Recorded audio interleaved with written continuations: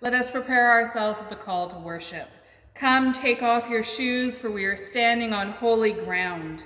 Shake off the dust as we're ready to start fresh. Let us worship the Lord and ready ourselves to receive Jesus' wonderful teachings, so that we may be renewed and strengthened by the word of God. And together we light the Christ candle to remind us that Jesus is always with us.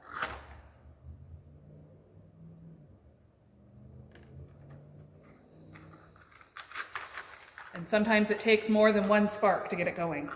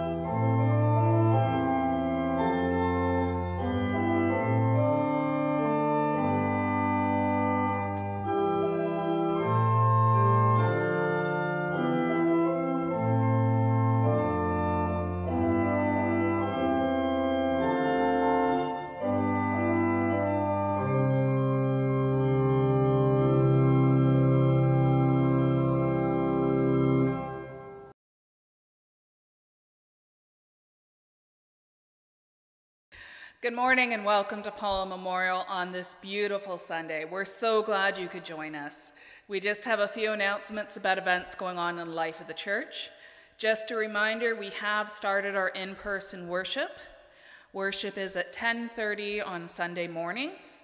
We do have a very tight limit on how many people are able to come right now, but as we're in line to go into stage 3, we're hoping that number will increase. If you wish to join us for in-person worship, you can find the links on both our Facebook page and our website to Eventbrite, and you can record that you wish to attend, or you can feel free to contact me and I will sign you up if there is space. We have exciting news that as of this coming Monday, I will be back in the church office. So if you would like to come and see me, or if you'd like to contact me, please feel free to call me at the church the office hours will be 9 to 2. And please call me. I look forward to being to hear from all of you. Now let us come before our God. Let us pray. God of holy love, we joyfully gather our hearts before you this day as we come to hear anew the story of your salvation. We come to receive your grace and your healing peace. So we come before you now with our prayers of adoration, trusting in your promise to always listen to your children praying. God of creation and Lord of life, we praise you this morning for the world around us. During the summer months, we're often invited to rest for a period of time as we rediscover our joy in the world that you made for us out of love. We praise you, mighty God, for the beauty that surrounds us, for the songs of the birds and the peace we find during the summer months. We thank you for the wonderful gift of the earth and the mysteries that are still waiting to be found. We praise you, Holy Lord, that you love us so much that you gave us your only Son. For Jesus was willing to leave behind his glory for our sake so that we could be healed and set free from all that once held us captive. We praise you, Lord, for the many teachings of Jesus, for the way in which Christ's teachings still speak directly to our hearts. As this day we're still able to learn and grow thanks to the works of your only Son.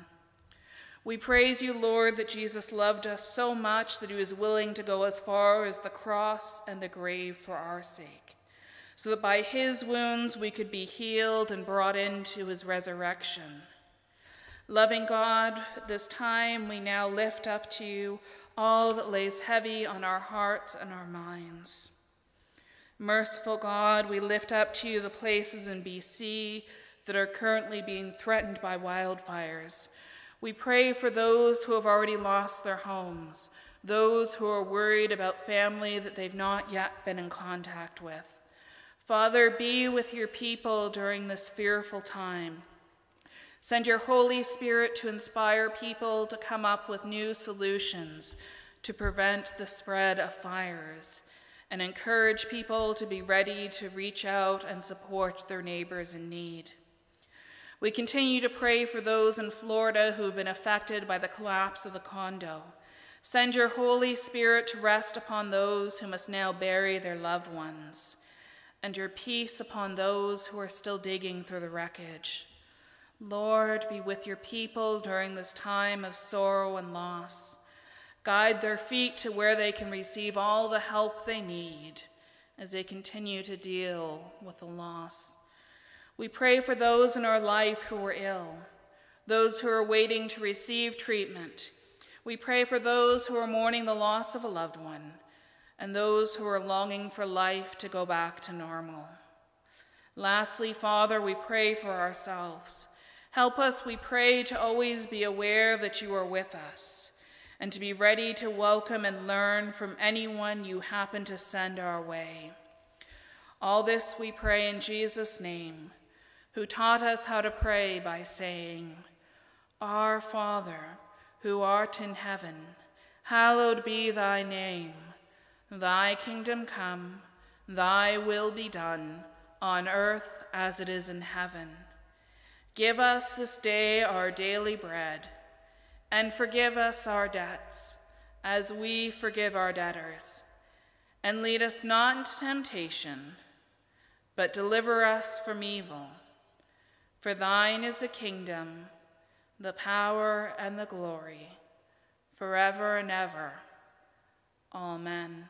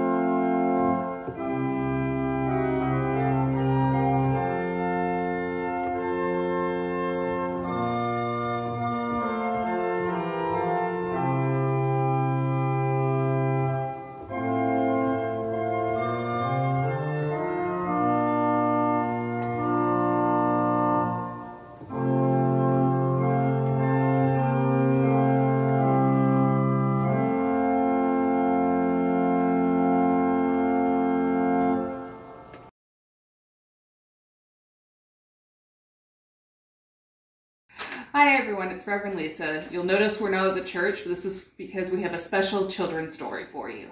Now I have a question for everyone. If you were given the choice between these two bags, which one would you pick? Would you pick this one that looks really pretty and looks like it could be for a birthday party? Or would you pick the plain white bag that could be used from anything to holding a sandwich to holding someone's pills? So take a moment to think about which one you would pick just by appearances itself. Do you have it in your head which one you're going to pick? Well, let's open this one because this one looks so exciting. I wonder what's in here. It could be a toy or some candy or absolutely nothing. There's nothing in this bag. It looked pretty on the outside, but it was pretty empty on the inside. So, well, let's look at this one. I don't know, maybe it's got an apple? Doesn't have an apple. It has something pretty amazing inside. And that's what Jesus wants us to remember, is we're not called to judge each other by what, look, what we see on the outside. In today's gospel story, we hear about how Jesus went to his hometown of Nazareth, but no one believed that he could do the amazing things he was doing. They said, Jesus is just a carpenter. He works with his hands. He can't heal the sick or teach about the kingdom of heaven. And so they turned their backs and they refused to listen to Jesus.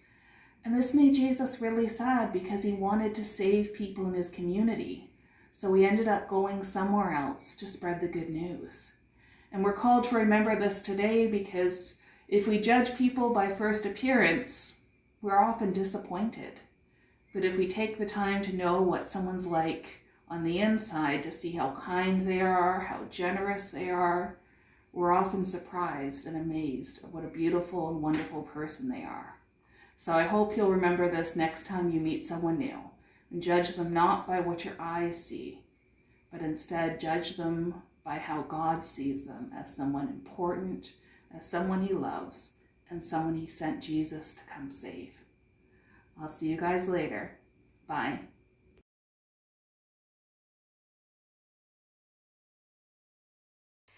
Our first reading is from 2 Corinthians verse chapter 12 verses 2 to 10. I know a man in Christ who 14 years ago was caught up to the third heaven. Whether it was in the body or out of the body, I do not know. God knows. And I know that this man, whether in the body or apart from the body, I do not know, but God knows, was caught up to paradise and heard inexpressible things, things that no one is permitted to tell. I will boast about a man like that, but I will not boast about myself, except about my weaknesses. Even if I should choose to boast, I would not be a fool, because I would be speaking the truth. But I refrain, so no one will think more of me than it is warranted by what I do or say, or because these surpassingly great revelations. Therefore, in order to keep me from being conceited, I was given a thorn in my flesh, a messenger of Satan to torment me. Three times I pleaded with the Lord to take it away from me. But he said to me, My grace is sufficient for you, for my power is made perfect in weakness. Therefore, I will boast all the more gladly about my weakness so that Christ's power, so that Christ's power may rest on me. That is why, for Christ's sake, I delight in weakness, in insults, in hardships, in persecutions, in difficulties. For when I am weak, then I am strong. Our second reading is from Mark chapter 6, verses 1 to 13. Jesus left there and went to his hometown, accompanied by his disciples. When the Sabbath came, he began to teach in the synagogue, and many who heard him were amazed. Where did this man get these things? They asked. What's this wisdom that has been given him? What are these remarkable miracles he is performing? Isn't he the carpenter? Isn't this Mary's son and the brother of James, Joseph, Judas, and Simon? Aren't his sisters here with us? And they took offense at him. Jesus said to them, A prophet is not without honor except in his own town, among his relatives, and in his own home. He could not do any miracles there except lay his hands on a few sick people and heal them. He was amazed at their lack of faith. Jesus sends out the twelve. Then Jesus went around teaching from village to village, calling the twelve to him. He began to send them out two by two and gave them authority over impure spirits. These were his instructions Take nothing on the journey except a staff, no bread, no bag, no money in your belts Wear sandals, but not an extra shirt. Whenever you enter a house, stay there until you leave that town. And if any place will not welcome you or listen to you, leave that place and shake the dust off your feet as a testimony against them. They went out and preached that people should repent. They drove out many demons and anointed many sick people with oil and healed them. This is the word of the Lord. Thanks be to God.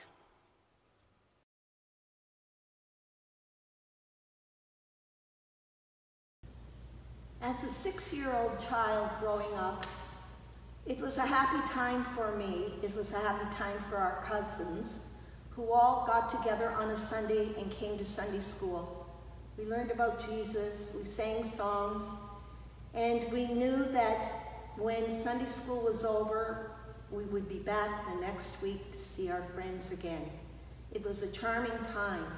And as I sing this song, I think about our dear, loving, begotten, indigenous people who aren't that fortunate. This song is for them.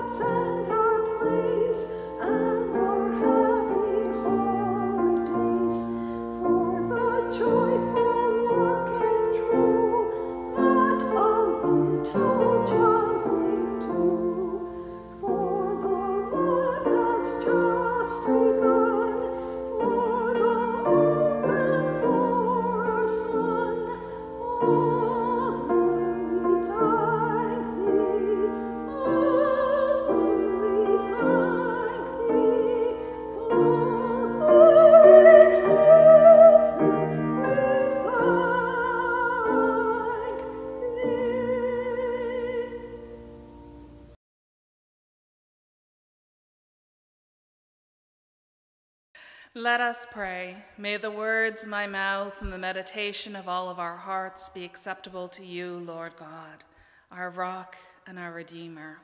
Amen. You can't be the preacher. You're too, you look too young.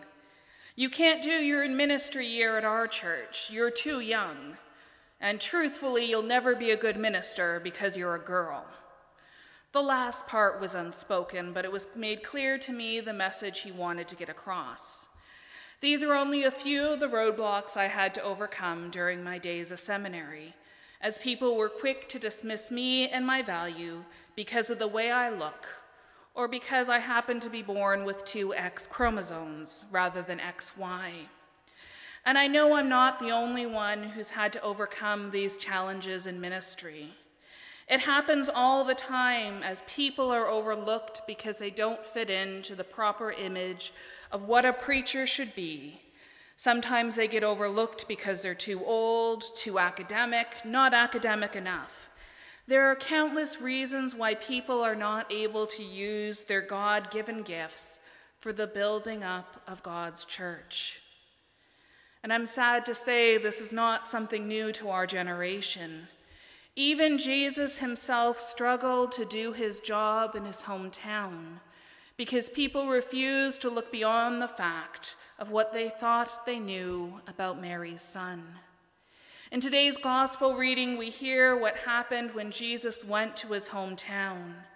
At this point in the life of ministry, Jesus has already gathered his disciples. He's calmed a storm and raised the dead all while preaching about the coming kingdom of heaven. Jesus has already opened the minds of countless people with his teaching and his healing. And yet, when he comes back to his hometown of Nazareth, the very same people that he grew up with, they turned their back on what he had to offer. As Jesus taught in the synagogue, his message fell upon deaf ears as people refuse to believe that someone as lowly as a tradesman would ever be able to say something important about their life. While others complained that they knew Jesus' family, his brothers and his sisters, and because of this fact, they couldn't believe the good news that Jesus had to share with them. And because of this, Jesus was limited to what he could do in the town he once called home.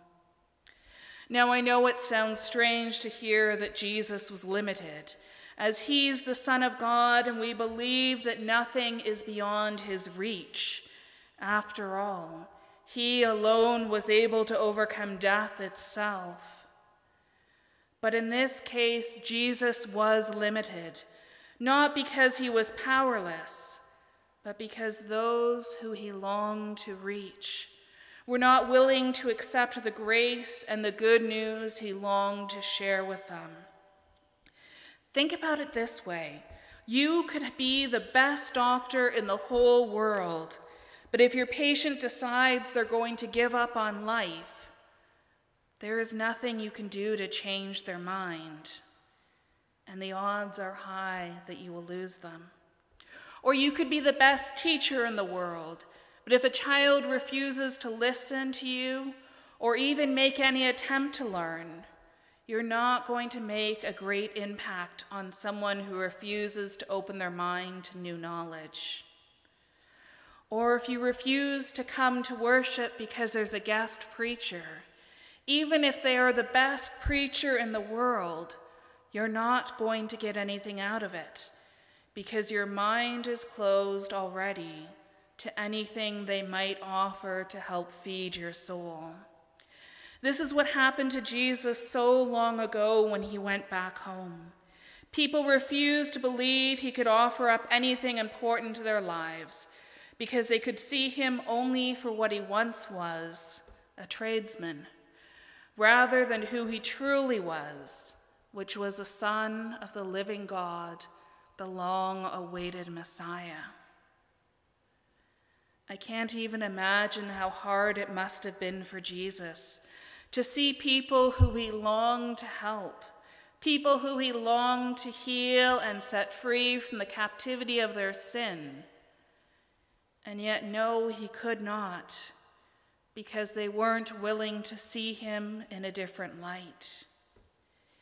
And we today, if we're not careful, can fall into the same trap of missing out on something wonderful that God has planned for us because we're not able to see beyond the packaging that this good news is wrapped in. How do you think you would react if Jesus were to come again into our world in the form of someone in the working class? Would you be able to sit at the feet of a cashier and listen to what they had to say about the coming kingdom of heaven? Would you be willing to sit and listen to someone who flips burgers for a living talk about how their faith has changed their lives and then invite you to experience that same change? If you heard about a migrant worker who was able to heal people in the name of the Lord, would you be willing to go and seek the healing you needed? Or would you dismiss what you'd heard because someone that low on the social ladder can never be that powerful? Would you today be willing to allow Jesus to come into our church and preach?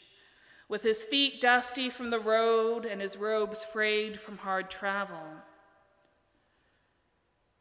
In our world, we're told not to judge a book by its cover and yet we all do it. As people, sometimes cautiously and sometimes unconsciously, decide who we're going to listen to or who we're going to follow based only by outside appearance. If the person fits into what we think is the right image for the job, only then are we willing to accept their leadership, accept their gifts, and if they don't live up to our expectations, we tend to dismiss them without a second thought. But when we do this, we can often find out that we missed on a life changing experience or opportunity.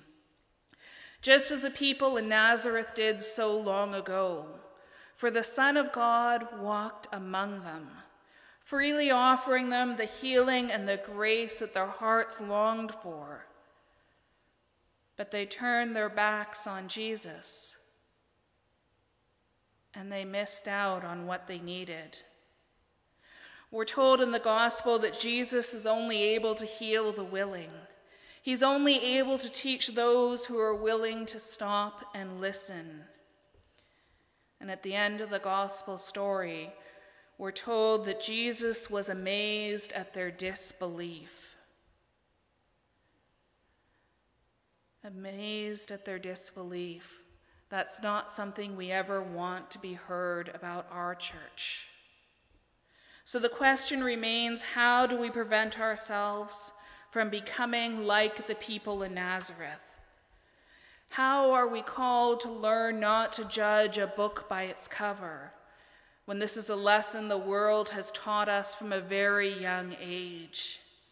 As none of us gathered here today want to miss out on the wonderful things our Heavenly Father has planned for us. But it's so hard not to fall on bad habits. But this doesn't mean we're not able to change.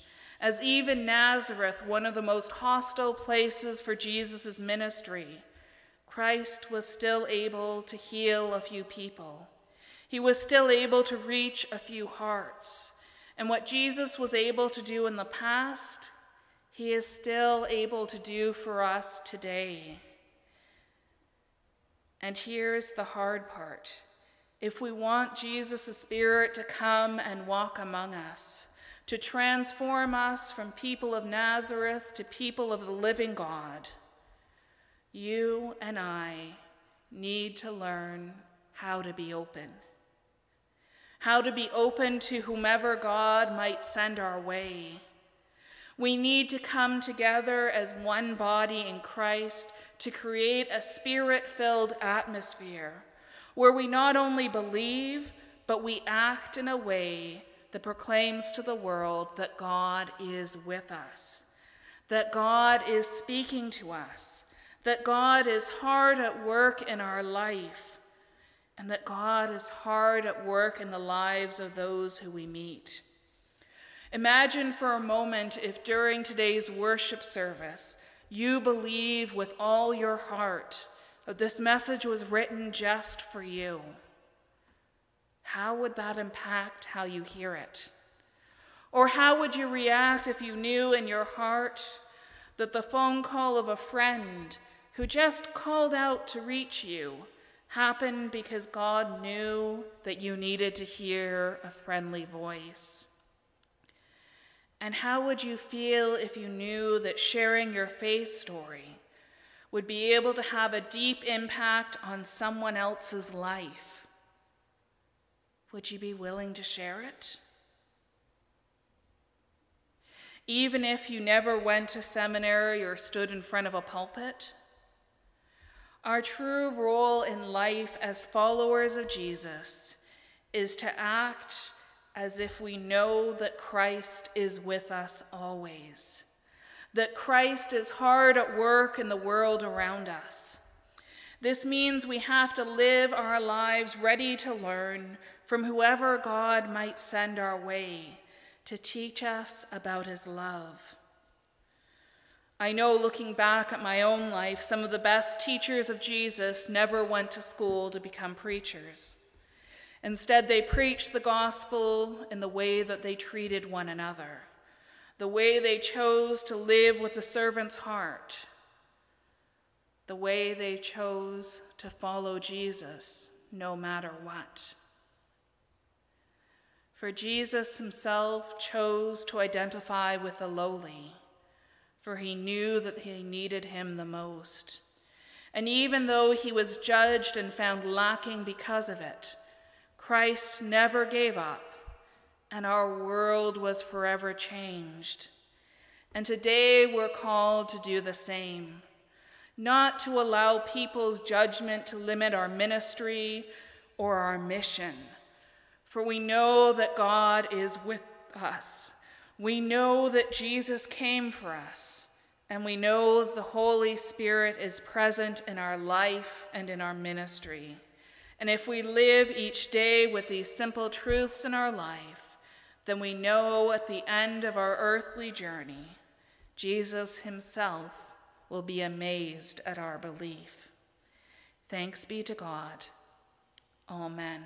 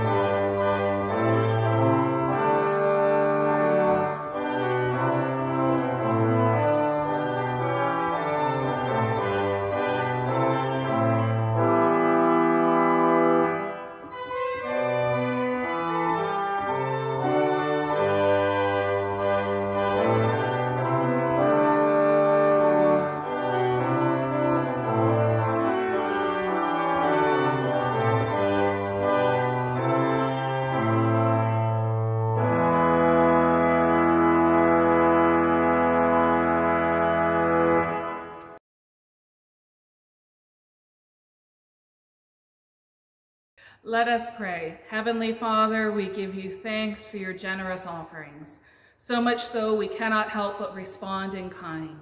We ask that you bless this humble offering, may it grow and multiply and serve your needs. All this we pray in Christ's name. Amen.